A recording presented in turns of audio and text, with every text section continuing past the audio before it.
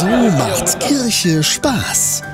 Mit dem neuen Bischofsquartett von domradio.de. Mit allen 26 Diözesanbischöfen, einem Joker aus Mainz und natürlich Papst Franziskus. Das neue Bischofsquartett mit allen Fakten. Wer hat das größte Bistum und die meisten Katholiken? Welcher Bischof ist der jüngste und welches Bistum das älteste? Lernen Sie spielerisch die deutschen Bischöfe kennen. Das neue Bischofsquartett von domradio.de.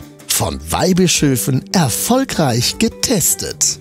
Bestellen Sie jetzt die fünfte Auflage bei uns auf domradio.de für nur 5 Euro inklusive Versand. Das Spiel für alle. Das Bischofsquartett.